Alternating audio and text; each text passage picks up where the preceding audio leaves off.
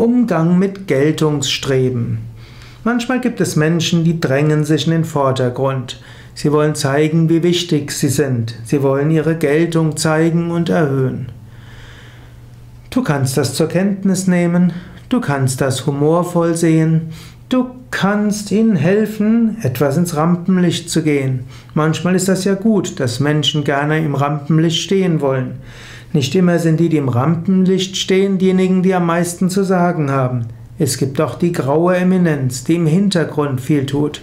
Wenn du eher introvertiert bist und eigentlich aufregst über Menschen mit Geltungsstreben, dann lass doch die mit Geltungsstreben irgendwie im Vordergrund sein und werde du derjenige, der im Hintergrund Gutes bewirkt.